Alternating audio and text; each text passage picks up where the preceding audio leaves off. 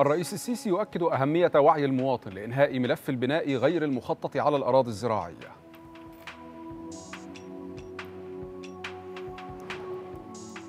مدبولي يؤكد عزم الحكومة منع دخول موظفي الجهات الإدارية بالمحافظات من غير المطعمين بلقاح كورونا.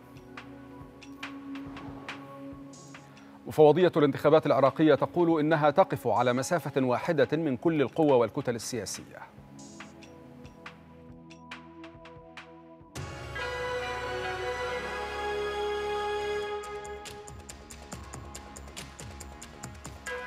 منتصف الليل العاشرة بتوقيت جرينتش نشرة إخبارية مفصلة تأتيكم من القاهرة. أهلا بكم. والبداية مع أحمد أبو زيد. أهلا بك أحمد. أهلا بك إيمان. شكرا جزيلا. أسعدتم أوقاتا. دعا الرئيس عبد الفتاح السيسي الجميع إلى التكاتف من أجل الحفاظ على الأراضي الزراعية ووقف التعديات والبناء غير المخطط عليها. وخلال افتتاح مجموعة من مشروعات إسكان بديل المناطق غير الآمنة شدد الرئيس على مسؤولية ووعي المواطن باعتباره أهم عنصر لإنهاء ملف البناء غير المخطط على الأراضي الزراعية.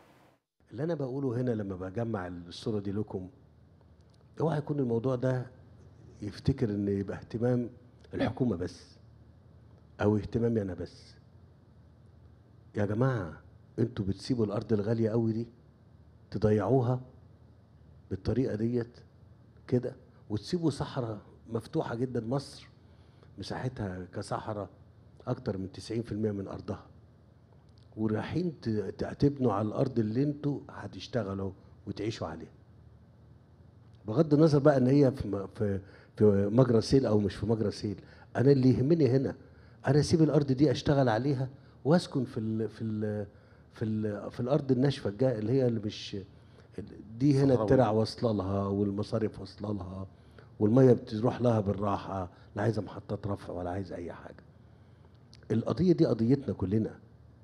وبالمناسبة وانتوا جايين على أنا جاي على الدايري جاي على الدايري حجم المباني اللي موجود آه هايل ضخم جدا. وكلها طبعا بشكل غير مخطط وغير صحي للناس. طب هنقول بقى إن ده كان سببه آه الدولة ولا الناس ولا النمو السكاني ولا كل ده على بعضه؟ قولوا زي ما أنتوا عايزين. لكن أنتم لازم تتوقفوا قدام النقاط ديت لأن إحنا مش هنقدر نعالج ده كله إلا بيكم بالناس بالمصريين. بفهمهم للي أنا بقوله ده. هتلاقي نفسك انت تقول لي أنا عايز أبني هنا جنب جنب أرضي. طب ما هو اللي جنبك نفس الكلام. واللي جنبك واللي جنبك واللي جنبك. فأنت بتاكل في أرضك اللي هي اللي هي الأرض الخضراء اللي بتطلع إنتاج واللي بتجيب فلوس. ليك ولغيرك وطالب الرئيس السيسي بالاستفادة من الأراضي التابعة للحكومة أو المحافظات أو الوزارات لإقامة مشروعات سواء خدمية أو مناطق حرفية لتوفير مزيد من فرص العمل وشدد الرئيس على أن تحقيق أحلام المصريين يتطلب تضافر كل الجهود هيتعمل الكلام ده فين؟ اللي أنتوا شايفينه ده فين؟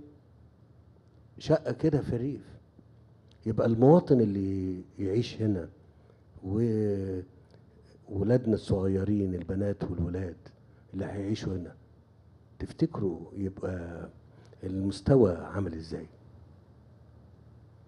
هقول لكم كلمة صعبة. مش عايزين تحلموا ليه؟ مش عايزين تحلموا لبلدكم ليه؟ مش عايزين تحلموا لنفسكم ليه؟ ليه راضيين بقلب طوب تحطوه وخلاص؟ وراح يقول لك ظروفنا كده. طب ما أنا هنقدر نغير ظروفنا.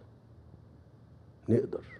بدليل ان إحنا بنقول لو النهارده دخلت على قرية فيها 100 بيت معمولين دور واحد أقدر اخليهم كده. والحظار بتاعتهم قدامها بالطريقة كده. أقدر اعمل ده. فهتساعدونا عشان إحنا نعمل اللي أنتوا شايفينه ده بالمناسبة. في الدلتا الجديدة وفي سينا كده. ليه؟ لأن أنا اللي بعمله. فخلاص بقى بخطط تخطيط على بعضه متكامل فبقى بنشئ حياة متكاملة في كل شيء. المساكن والمدارس وال والمساجد والكنايس وكل الخدمات المطلوبة للمكان. لكن إحنا بنعالج أوضاع كانت سابقة. بنعالج أوضاع سابقة. مش هتتعالج إلا إن إحنا كلنا نبقى مع بعض تتضافر جهودنا عشان نغير حياتنا وعشان نحقق حلمنا قال الرئيس عبد الفتاح السيسي إن الحكومة تتفاوض منذ ثلاث سنوات مع شركات النظافة للتعامل مع قضية المخلفات بصورة عامة وشاملة. أشار الرئيس السيسي إلى أن الدولة تعول على وعي المواطن وتعاونه في ملف إزالة المخلفات. إحنا دلوقتي بقالنا ثلاث سنين يا دكتور مصطفى بنتفاوض على شركات النظافة تقريبا يعني واتفقنا وكده. أنا بقول لكم عشان تعرفوا. بقول لكم عشان تعرفوا. وبستغل فرص إن إحنا نكون موجودين مع بعضنا بنعرض حاجة من كده تقول يعني ده إحنا فرحانين قوي وكده. أيوه أنا عايز أكمل الفرحه والله عايز أكملها. عايز أكملها إيه؟ إن ما يبقاش عندنا حاجة مش كويسة. لكن مش عشان أضايقكم واضايق نفسي واضايق الحكومة. لما جينا نتكلم مع الشركات وجت آه، التنمية المحلية من ثلاث سنين والبيئة تعرض عليا المشروع الموضوع مع الدكتور مصطفى لقينا إن حجم حجم ومحدش يفهمني غلط. من فضلكم ما تفهمونيش غلط. أنا لما بتناول معاكم مسألة بتناولها عشان نفهمها. أنت بتقولها كلمة في الجورنان أو في على مواقع التواصل قضية. لكن انت لازم تكون عارف حجم القضية ديت قد إيه وازاي نعالجها. طب أنا هقول لكم إحنا حجم اللي بن- بنجمعه من مصر ولا أنا والدكتور مصطفى يصلح لي بنجمع من مصر للنظافة 800 مليون. صح كده؟ مش كده؟ طيب. يعني كل الناس في مصر كل الشقق كل المحلات كل ده بنجمع فيه 800 مليون جنيه. طيب القاهرة لوحدها لحي غرب وشرق؟ مش كده؟ حي غرب وشرق. لما جينا نتكلم مع الشركات صدقوني أنا مش عايز أقول الرقم عشان ما يعني إيه ما تستغربوش. لحي غرب وشرق مش كل القاهرة مش كل القاهرة. يعني القاهرة كلها ممكن يبقى ال ال التكلفة ممكن توصل مثلا ل 2 2 ونص مليار لو شئنا إن إحنا نسميها لو إحنا حبينا نعمل ده. وأكد الرئيس السيسي أن الدولة جادة في توفير السكن للمواطنين مشيرا إلى أن الحكومة تقوم بمشروعات سكنية متكاملة. لما إحنا قلنا عشان نخلي الناس ما تقربش من الأراضي الزراعية ما قلناش ما تقربش وبس. إحنا قلنا هنطرح في عواصم المحافظات. في الأراضي المتاحة جوه المحافظة سواء كانت الأراضي دي بتاعت الدولة أو بتاعت وزارات زي آه، آه، قطاع الأعمال أو غيره ما بقاش تصلح إنها ينفع تبقى في وسط الكتلة السكانية بالطريقة ديت قلنا هناخد الأراضي ديت نبنيها عشان نتيحها للمواطنين عشان ما أقولوش إيه آه ما تبنيش وأنا ما بوفرش بديل.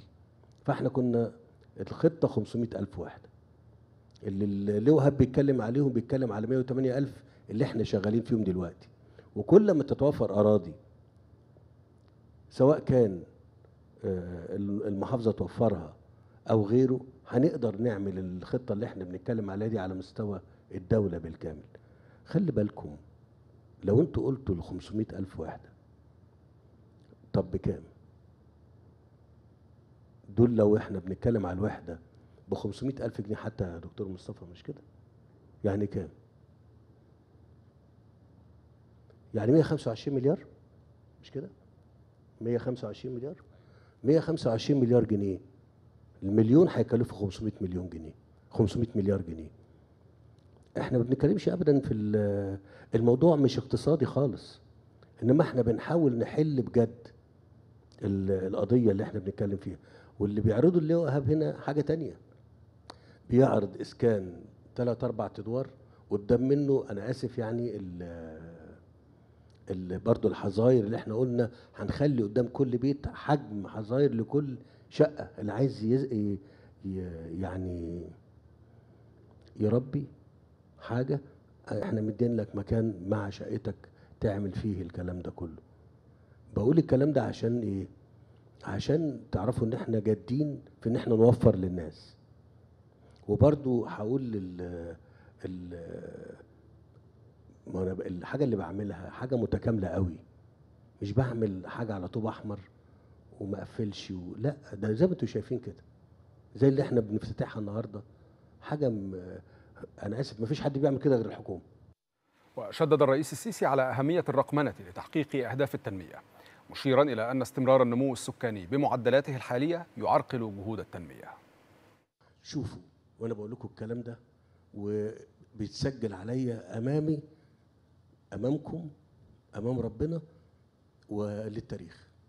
طول ما النمو السكاني اللي موجود في مصر بالمعدلات دي صدقوني لن نستطيع ولا اللي طيب لو إحنا ما عندناش المعدلات ديت كان ممكن نبقى معدلات عملنا أكتر من كده؟ طبعا. مفيش كلام. النهارده أنت خلي بالكم كل 2 مليون بيزدادوا عايز تعمل لهم مدارس ومستشفيات وعايز تعمل لهم شغل فرص عمل وعايز وعايز. طب مين يقدر على كده؟ مين يقدر كدولة على كده؟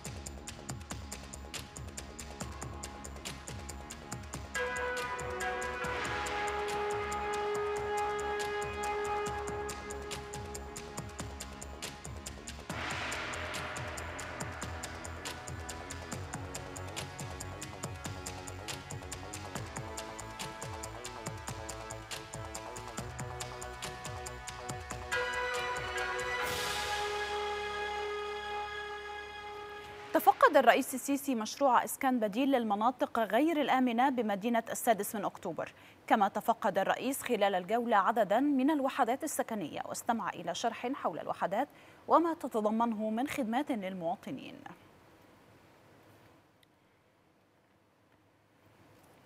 قال اللواء أركان حرب إيهاب الفار رئيس الهيئة الهندسية للقوات المسلحة إن الرئيس عبد الفتاح السيسي ومنذ توليه الحكم وضع خطة واضحة لتحقيق تنمية شاملة ومستدامة في مصر ضمن رؤية مصر 2030 أضاف رئيس الهيئة الهندسية للقوات المسلحة أن رؤية مصر 2030 تستهدف الارتقاء بجودة حياة المصريين في المناطق الجغرافية كافة.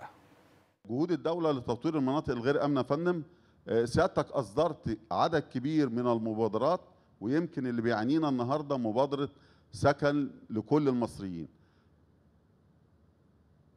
آه، طبعا يا فندم عشان نحقق السكن اللائق ونحقق حتى حياة كريمة للناس اللي هتسكن إحنا فندم نفذنا مجموعة من ال- الواجهات المعمارية عشان نعمل طابع معماري متميز للاسكان للإسكان بالإضافة فندم إن إحنا عملنا تشطيبات آه، فوق المتوسطة لساكني ال- المناطق اللي إحنا بنجهز فيها الإسكان كمان يا فندم سيادتك أمرت إن إحنا آه، نجهز كمان ال- المنازل والوحدات السكنية بالفرش الجديد حتى اللي بيتنقل للمكان الجديد ده يا فندم يبقى فرشه جديد وسكنه جديد وال- والمنطقة كلها تبقى جديدة عشان يبقى حاسس إنه عمل انتقالة في حياته.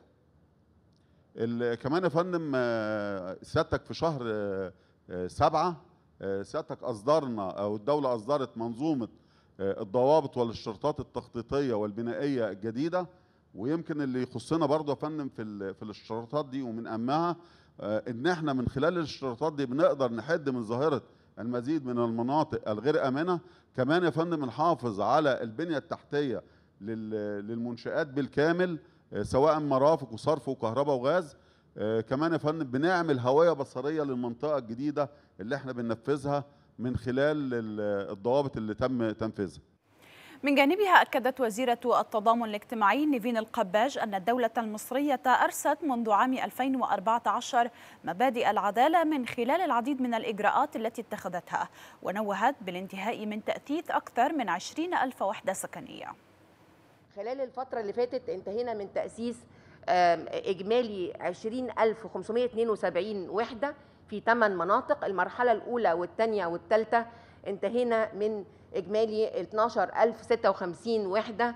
آه، الحقيقة إحنا كمان المنطقة ال- المرحلة الرابعة انتهينا من 8000 فإجمالي هذه الوحدات هي 20572 إحنا بننسق مع السادة المحافظين علشان مواعيد التسكين وآليات التسكين أيضا. كنت سيادتك يا فندم وجهت في أثناء أحد الجولات إن إحنا نعمل نصمم نموذج للغرف والتسكين آه، بيتفق مع المساحة والحيز الموجود في الوحدات السكنية الجديدة.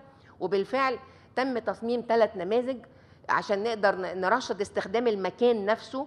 فنقدر إن إحنا ال- ال- التجهيز يبقى بيشمل أكتر من وظيفة في ان واحد. تم استلام ثلاث نماذج وجاري استلام آخرين.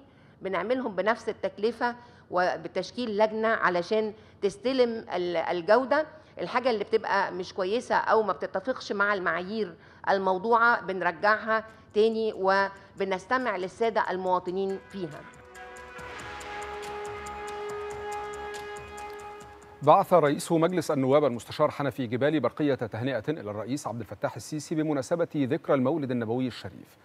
وفي نص البرقية قال رئيس مجلس النواب إن السيرة العطرة للنبي الكريم منذ مولده إلى أن لحق بالرفيق الأعلى تمثل نموذجا رائعا ودرسا يقدم الإنسان النموذج في كل مراحل حياته.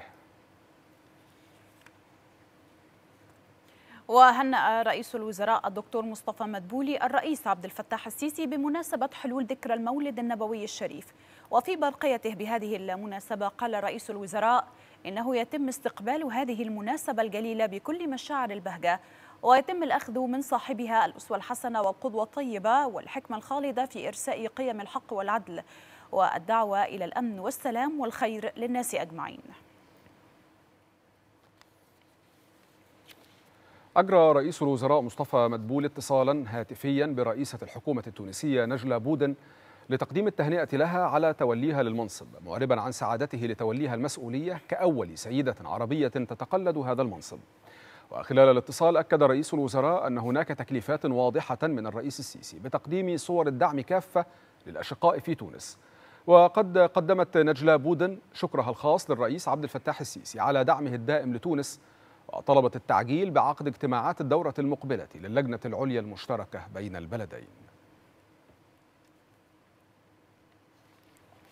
أكد رئيس الوزراء مصطفى مدبولي ضرورة استكمال إزالة التعديات على فرعي النيل برشيد ودمياط والتشديد على عدم السماح بأي تعد أو مخالفة على المجاري المائية والأراضي الزراعية. وخلال رئاسته اجتماع مجلس المحافظين كلف مدبولي بالاستعداد للتقلبات الجوية والأمطار الغزيرة وتوفر الفرق اللازمة والمعدات للتعامل الفوري مع أي طارئ. وفي شأن آخر أوضح رئيس الوزراء أن هناك مخزونا كبيرا من السلع الاستراتيجية مشددا على أنه لن يسمح بالتلاعب في الأسعار. وسيتم الضرب بيد من حديد على كل مخالف أو متلاعب. وحول جهود مكافحة جائحة كورونا أكد مدبولي أهمية تطعيم كل العاملين في الجهات الإدارية بالمحافظات منوها بأنه خلال فترة وجيزة لن يسمح بدخول أي موظف لم يتم تطعيمه. خلال اجتماع مجلس المحافظين برئاسة رئيس الوزراء استعرض وزير التنمية المحلية محمود شعراوي موقف حصر وإزالة التعديات على المجاري المائية.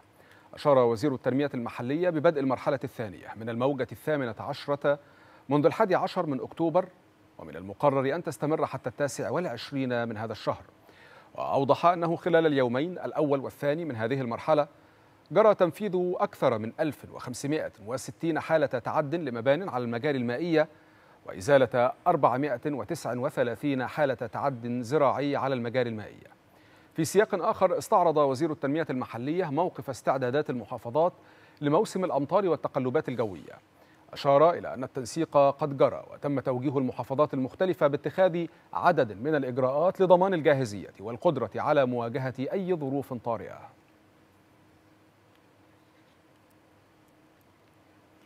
أعلنت وزارة الداخلية جهود أجهزتها على مستوى الجمهورية خلال أسبوع في مجالات المرور والتموين والكهرباء والمصنفات والآثار والأموال العامة والضرائب. وقد أسفرت تلك الجهود عن تحقيق النتائج الإيجابية التالية.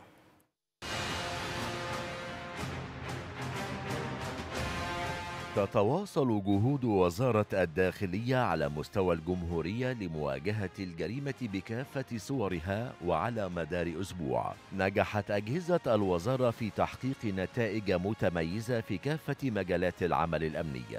ففي إطار تنفيذ إجراءات الخطة الشاملة التي أعدتها الدولة للحد من انتشار فيروس كورونا. ضبطت أجهزة وزارة الداخلية خلال أسبوع 6393 قضية تموينية متنوعة وضبط 2183 قضية في مجال منع تداول الأرجيلة. بمضبوطات 12784 أرجيلة إضافة إلى غلق 8868 محلا مخالفا لقرار مواعيد الغلق. كما تم ضبط عدد 67413 شخصا لعدم ارتدائهم الكمامات الواقية. وإلى قضايا الغش التجاري والتلاعب بالدعم. أسفرت جهود وزارة الداخلية خلال أسبوع. عن ضبط 9233 قضية تموينية متنوعة من بينها 174 قضية بيع اسطوانات بوتاجاز في السوق السوداء. بمضبوطات بلغت 11398 اسطوانة بوتاجاز. وضبط 28 قضية مواد بترولية بمضبوطات بلغت 159945 لتر مواد بترولية. تم تجميعها لبيعها في السوق السوداء إضافة إلى ضبط 9031 قضية تموينية بمضبوطات وزنت أكثر من 4089 طن سلع غذائية متنوعة.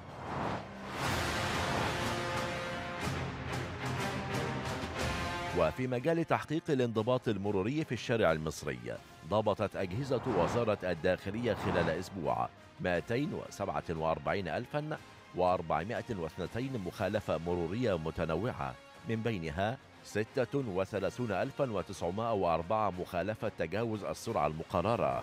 كما تم رفع 289 سيارة و70 دراجة نارية متروكة ومتهالكة.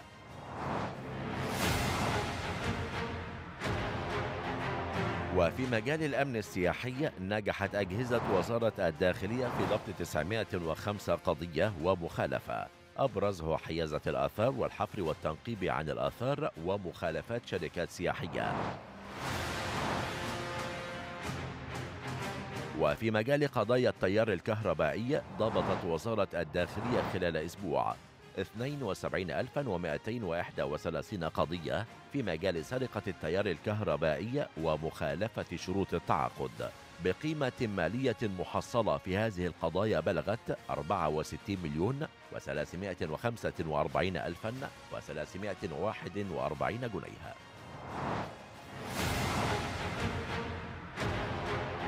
وفي مجال قضايا المصنفات وحماية حقوق الملكية الفكرية ضبطت وزارة الداخلية خلال أسبوع 276 قضية في مجال المصنفات وحماية حقوق الملكية الفكرية. من بينها 165 قضية في مجال مكافحة جرائم المصنفات. ضبط خلالها 376 وحدة وأجهزة إلكترونية مختلفة كما تم ضبط 111 قضية في مجال جرائم المطبوعات. بمضبوطات بلغت 297503 كتب مقلدة ومنسوخة ومطبوعات تجارية وغذائية دون الحصول على تفويض من أصحاب الحقوق المادية والأدبية ودون الحصول على تراخيص من الجهات المعنية. وفي مجال قضايا الأموال العامة ضبطت وزارة الداخلية خلال أسبوع 45 قضية في مجال الأموال العامة بقيمة مالية بلغت 211 مليون و260 ألف و848 جنيها وفي مجال قضايا التهرب الضريبي تمكنت أجهزة الوزارة من ضبط 2060 قضية في مجال التهرب الضريبي. بقيمة مالية بلغت أكثر من 3 مليار و294 مليون و589 ألف جنيه. قيمة تعاملات مالية مخفاة لم يقم الممولون باختار مصلحة الضرائب بها وجاري فحصها فنيا بمعرفة المصلحة لاستيداء الضرائب المستحقة عليها. كما بلغت قيمة المبالغ المالية المسددة لصالح الخزانة العامة للدولة 6 مليون و363 ألفا و188 جنيه. شارك وزير الخارجية سامح شكري في الاجتماع التنسيقي نصف السنوي الثالث للاتحاد الإفريقي والتجمعات الاقتصادية الإقليمية المنعقد عبر الدائرة التلفزيونية المغلقة. وذلك نيابة عن الرئيس عبد الفتاح السيسي. أشار وزير الخارجية في هذا الصدد إلى اهتمام مصر بمتابعة التقدم المحرز منذ انعقاد القمة التنسيقية الأولى والتي ترأسها الرئيس عبد الفتاح السيسي في شهر يوليو من عام 2019 موضحا هذه القمة دشنت مسارا لتطوير المرجعيات الرئيسة للتكامل القاري والإقليمي. كما أشار وزير الخارجية بأن جائحة كورونا بالرغم مما مثلته من تحد صعب إلا أنها أتاحت الفرصة أمام الدول الإفريقية لتعزيز التعاون فيما بينها.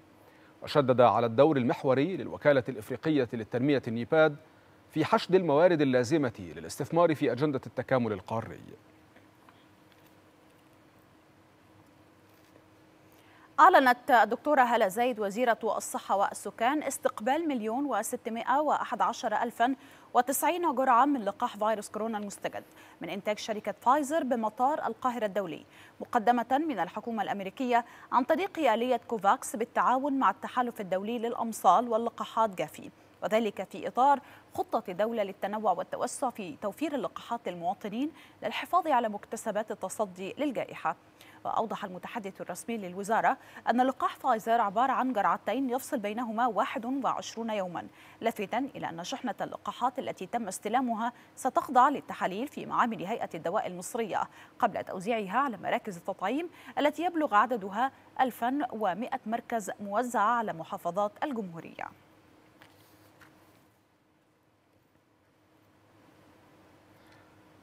أعلن سفير مصر في روما ومندوبها الدائم لدى منظمة الأغذية والزراعة هشام بدر انتخاب مصر عضوا في هيئة مكتب لجنة الأمن الغذائي العالمي بالمنظمة.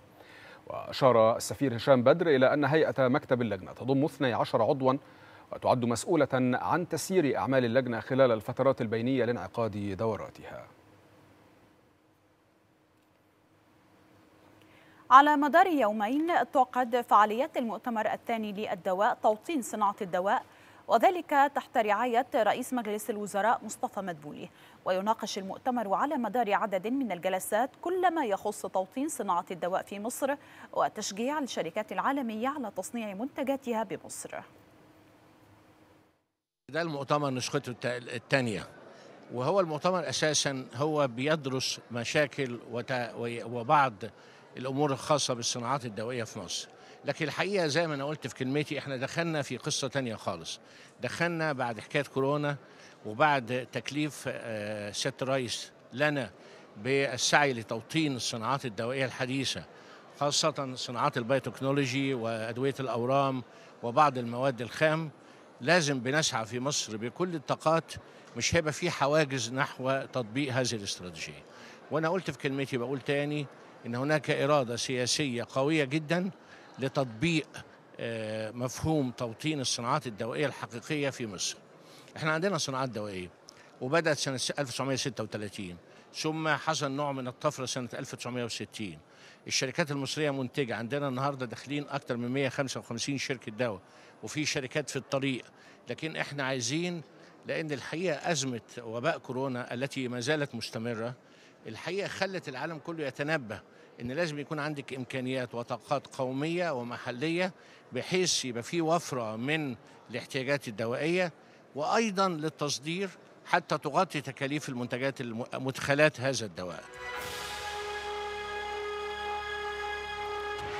أدان المتحدث باسم وزارة الخارجية حادث الطعن الذي تعرض له النائب البريطاني ديفيد أمس في أثناء اجتماع في دائرة انتخابية شرقية العاصمة لندن وأسفر عن مقتله. أعرب متحدث الخارجية عن إدانته الشديدة لمثل هذا الهجوم الشنيع معبرا عن تضامن مصر مع حكومة المملكة المتحدة وشعبها. أكد رئيس الوزراء اللبناني نجيب ميقاتي أن الحكومة حريصة على عدم التدخل في أي ملف يخص القضاء مشددا على أن السلطة القضائية عليها أن تتخذ بنفسها ما تراه مناسبا من إجراءات. وشدد ميقاتي على أن ملف إطلاق النار في منطقة الطيونة بالعاصمة بيروت في عهدة الأجهزة الأمنية بإشراف القضاء المختص. جاء ذلك خلال اجتماع ميقاتي مع وزير العدل القاضي ورئيس مجلس القضاء الأعلى والنائب العام وجرى خلال الاجتماع البحث في ملف الأحداث الأمنية في الطيونة وضرورة الإسراع في التحقيقات الجارية لكشف الملابسات الكاملة.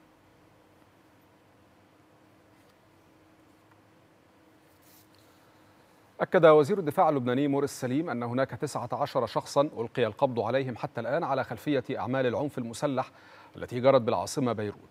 أضاف سليم أن التحقيقات الأولية تفيد بأن أعمال العنف بدأت شرارتها بتدافع واشتباك في منطقة الطيونة أديا إلى إطلاق نار من الجانبين مشيرا إلى أن المقبوض عليهم من المشتبه في تورطهم بأعمال العنف من الطرفين فيما قال الجيش اللبناني إن عسكريا يشتبه في إطلاقه النار تجاه متظاهرين في بيروت الخميس الماضي يخضع للتحقيق بإشراف القضاء المختص.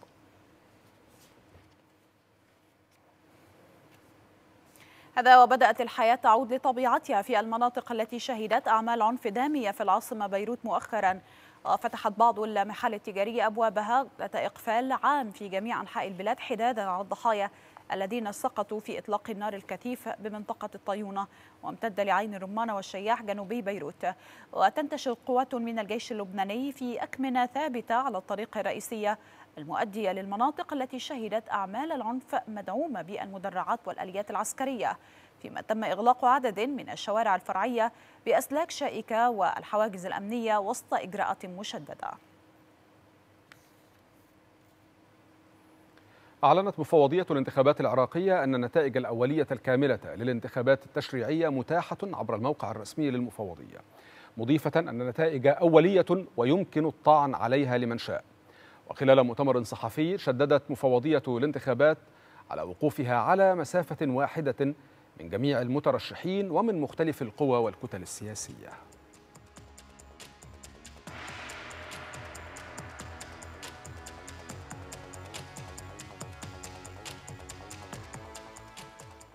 صوتت اللجنة الاستشارية بإدارة الغذاء والدواء الأمريكية بالإجماع للتوصية بجرعة معززة من معززة من لقاح جونسون أند جونسون بعدما لا يقل عن شهرين من حصول الإنسان على الجرعة الأولى. جاء قرار اللجنة بناء على نتائج المرحلة الثالثة من التجارب التي أظهرت أن جرعة معززة زادت الحماية إلى 94% ضد الحالات المتوسطة والحادة من فيروس كورونا في الولايات المتحدة.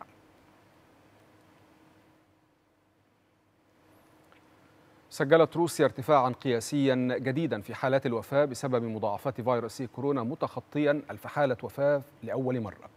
قالت فرقة العمل الروسية المعنية بمكافحة الفيروس إنها أحصت نحو ألف وفاة خلال الساعات الأربع والعشرين المنقضية كما أعلنت عن عدد قياسي جديد في الإصابات مع الإعلان عن أكثر من 33 ألف إصابة. قال قائد الاستجابة لفيروس كورونا في ولاية فيكتوريا الأسترالية جيروين فايمار إن الولاية سجلت ما يقرب من 2000 حالة إصابة جديدة بفيروس كورونا خلال 24 ساعة فيما توفي سبعة أشخاص. وأضاف فايمار أن أكثر من 88% من الأشخاص الذين تزيد أعمارهم عن 16 عاما في فيكتوريا تلقوا جرعة واحدة على الأقل من اللقاح. و64% تلقوا الجرعة أو جرعة مضاعفة من اللقاح.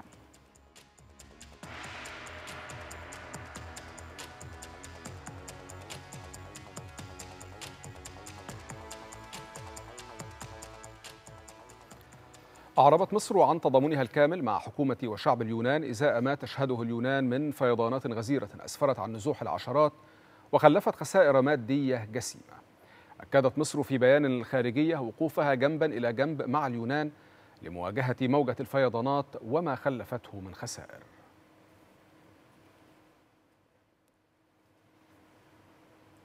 يواصل بركان جزيرة لابالما ثورانه مع اندلاع تسونامي الحمم البركانية الذي التهم عدة منازل بالبلدة.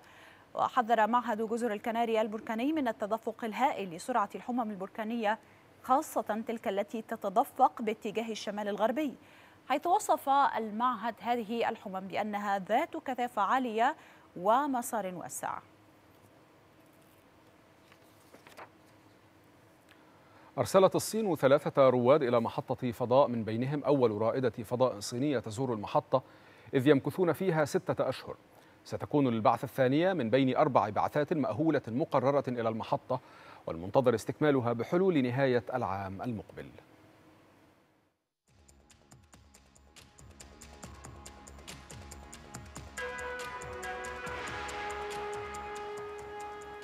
تتواصل لليوم الثاني على التوالي فعاليات القافلة الطبية بوحدة طب الأسرة بالحمروين بمدينة القصير ضمن المبادرة الرئاسية حياة كريمة. قامت القافلة بتوقيع الكشف وصرف العلاج ل 242 حالة بمختلف التخصصات الطبية على مدار يومين. منها 42 فحصا معمليا وتسعة وتسع وعشرون أشعة وسونار وست وثلاثون حالة كشف مبكر عن الأمراض المزمنة. تم إجراء جميع الكشوفات والفحوصات وصرف العلاج بالمجان.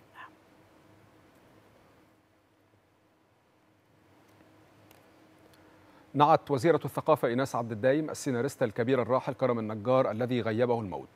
وقالت الوزيرة إن الراحل نجح خلال مسيرته التي امتدت لأكثر من أربعة عقود في تناول الكثير من القضايا الاجتماعية المهمة.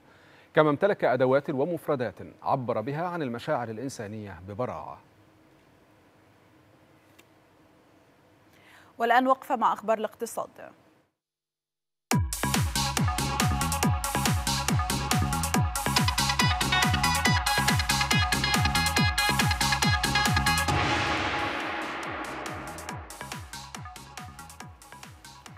وقعت مصر وقبرص مذكرة تفاهم لدراسة إنشاء مشروع الربط الكهربائي بين مصر وقبرص. يوفر ربطا مباشر لتبادل الكهرباء بين البلدين. يهدف المشروع إلى إنشاء شبكة ربط قوية بين مصر وقبرص لتحسين أمن الإمداد بالطاقة وإنشاء خطوط للنقل أو لنقل كميات ضخمة من الطاقة الكهربائية المولدة من الطاقة المتجددة. أكدت وزيرة التخطيط والتنمية الاقتصادية هالة السعيد أن مصر تمتلك رؤية واضحة لتحقيق وتوطين أهداف التنمية المستدامة.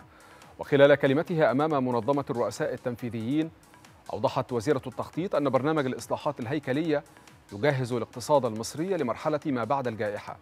أضافت أن التحول للاقتصاد الأخضر أصبح على قمة أولويات الحكومة. مشيرة إلى أن مصر تمتلك نظام ريادة الأعمال الأسرع نموا في منطقة الشرق الأوسط وشمال إفريقيا.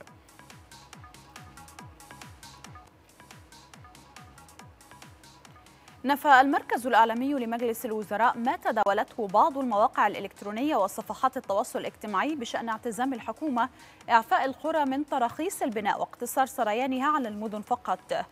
وأشار المركز إلى أن وزارة التنمية المحلية أكدت على استمرار استخراج تراخيص البناء بالقرى والنجوع والعزب والكفور بشكل طبيعي والتي تخضع لمنظومة الاشتراطات والتراخيص القديمة. وفقا لقانون البناء الموحد لسنة 2008 ولائحته التنفيذية بينما تطبق منظومة الاشتراطات والتراخيص الجديدة في المدن فقط. وأكدت الوزارة أنه لا يجوز البناء نهائيا دون ترخيص سواء في القرى أو في المدن.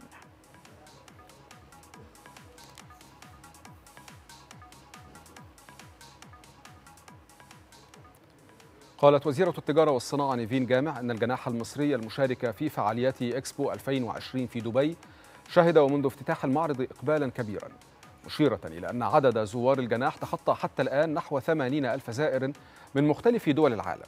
قالت الوزيرة إن هذا الإقبال يعكس الجهود الهائلة المبذولة في الجناح من تصميم وابتكار واستعراض للحضارة المصرية من خلال محتوى جذاب ومبهر فضلا عن المعروضات الأثرية بالجناح. لافتة إلى أن الجناح المصري يستعرض التطورات التي تشهدها مصر حاليا في المجالات المختلفة وعلى رأسها مجالات الصناعة والبنى التحتية والمدن الذكية والمشروعات القومية.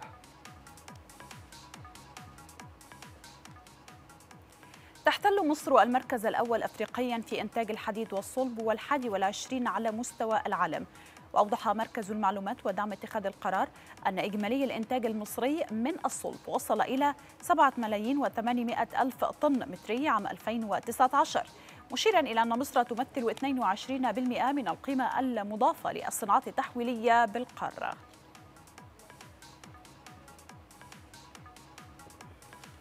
انطلقت في محافظة الوادي الجديد فعاليات الملتقى التسويقي الأول للتمور بمدينة الخارجة برعاية الرئيس عبد الفتاح السيسي. يشارك في الملتقى أكثر من 90 عارضا ويستهدف تسويق التمور المصرية وتحسين فرص التصدير لهذا المنتج المهم إلى مختلف دول العالم في حضور الأطراف المشاركة في الملتقى من مزارعين ومصدرين ومصنعين ومستوردين وباحثين.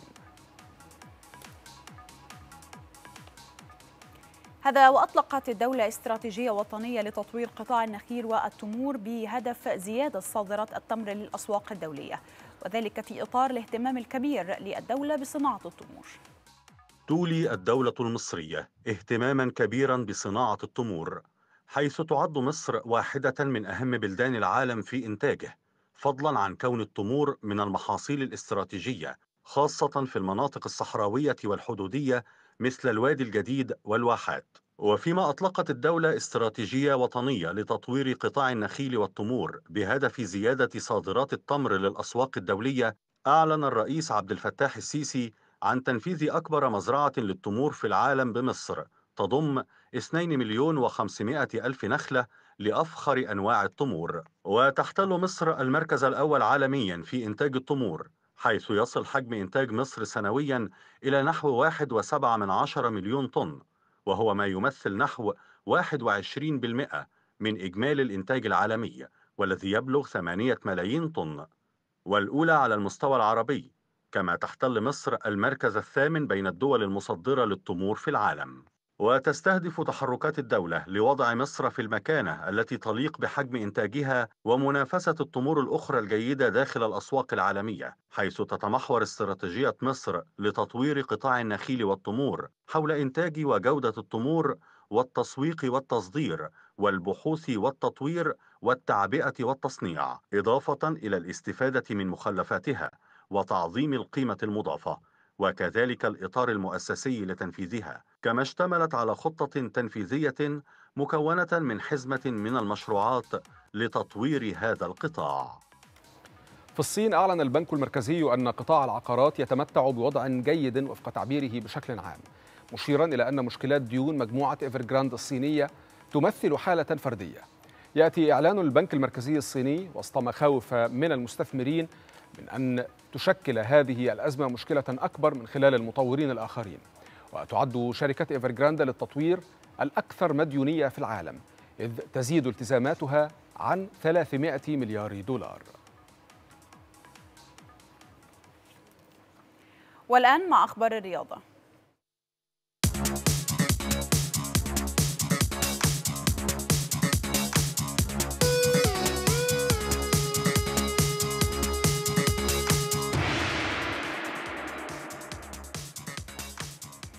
تتواصل فعاليات بطولة العالم للرماية على الأطباق المروحية تحت رعاية الرئيس السيسي والتي تقام حتى 18 من أكتوبر الجاري على ميادين الرماية بمدينة مصر الدولية للألعاب الأولمبية في العاصمة الإدارية الجديدة.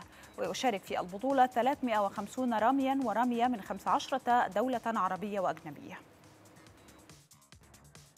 هكذا يتم تطهير الميدان وإعادة تعبئته بالأطباق المروحية. كما تعبأ البندقية بالخرطوش بينما يستعد الرامي لإصابة هدفه الذي سوف يطلقه الحكم إلكترونيا من أحد هذه الصناديق. منافسات مسابقة أبطال العالم للرماية واحدة من ثلاث مسابقات ضمن فعاليات البطولة الدولية للرماية على الأطباق المروحية. التي يستضيفها المركز الأولمبي للرماية بمدينة مصر للألعاب الأولمبية بالعاصمة الإدارية الجديدة والذي يعد واحدا من أكبر ميادين الرماية في العالم. اتخذت اللجنة المنظمة كافة الاستعدادات والإجراءات اللوجستية المتعلقة باستقبال وإقامة اللاعبين وتنقلاتهم إلى أماكن التدريب ومكان إقامة البطولة. فضلا عن الإجراءات الخاصة بالوقاية من فيروس كورونا. 350 رام ورامية من 15 دولة يتنافسون في البطولة التي تنظمها مصر تحت رعاية فخامة الرئيس عبد الفتاح السيسي. تنظيم يليق بمصر التي أصبحت أيقونة العالم في الأحداث والبطولات الرياضية والدولية. فاز الزمالك على فريق تذكر الكيني بهدف دون رد في ذهاب دور ال 32 من بطولة دوري أبطال إفريقيا. هدف المباراة الوحيد أحرزه أشرف بن شرقي في الدقيقة السادسة والأربعين من عمر اللقاء لينتظر الزمالك مباراة العودة المقرر لها الثاني والعشرين من هذا الشهر.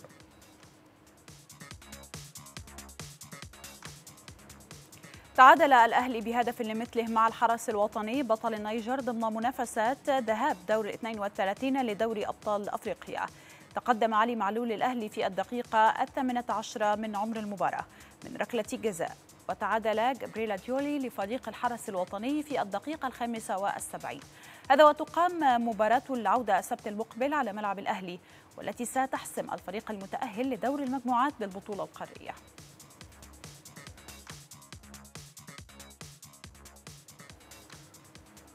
افتتح النادي المصري عهد مدربه الجديد التونسي معين الشعباني بالتعادل دون أهداف خارج أرضه مع منافسه سلطات الموارد الأوغندي.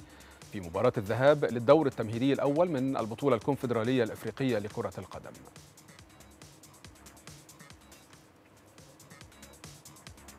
وتعادل بيراميدز مع مضيفي عزام التنزاني سلبيا على ملعب الأخير في ذهاب دور ال 32 الأول في بطولة الكونفدرالية الأفريقية. جاءت المباراة قليلة الفرص لتنتهي دون أن تهتز الشباك وسيحسم لقاء أو سيحسم لقاء الإياب في القاهرة المتأهل للملحق.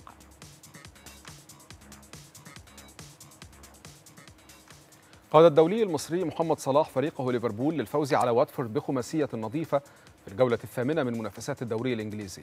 سجل اللاعب المصري هدفا وصنع آخر ليعادل الرقم التاريخي للفيل الإيفواري ديدي دروجبا ب 104 أهداف في صدارة الهدافين الأفارقة في تاريخ المشاركات في الدوري الإنجليزي لكرة القدم.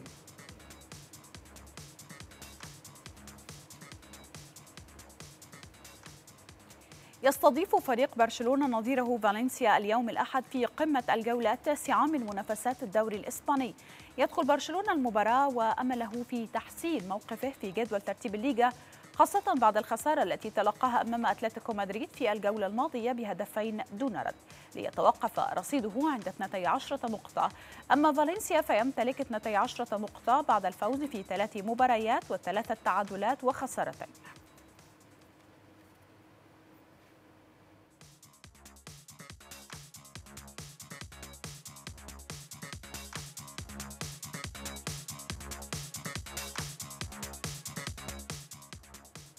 الآن جولة مع أخبار الطقس.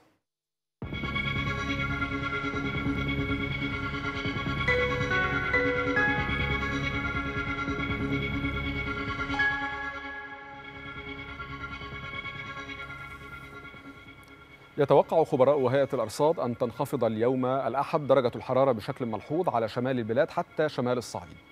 إذ يسود طقس مائل للحرارة على القاهرة الكبرى والوجه البحري حار على شمال الصعيد شديد الحرارة على جنوب الصعيد. فيما يلي بيان بدرجات الحرارة المتوقعة.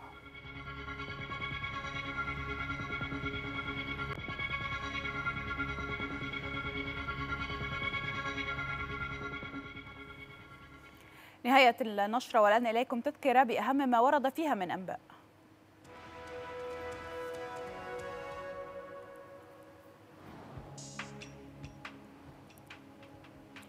الرئيس السيسي يؤكد أهمية وعي المواطن لإنهاء ملف البناء غير المخطط على الأراضي الزراعية.